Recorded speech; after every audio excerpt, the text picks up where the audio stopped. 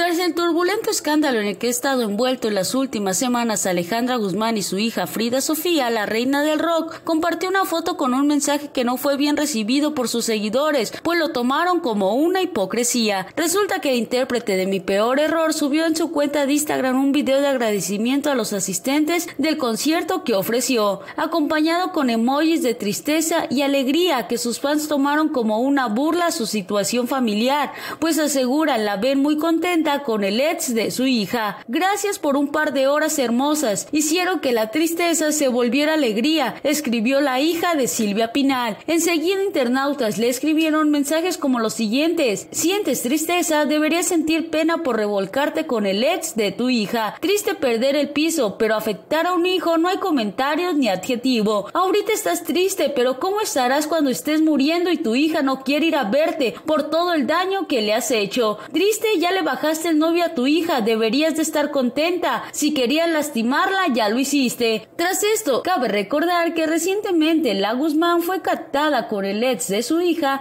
Cristian Estrada, juntos en la playa.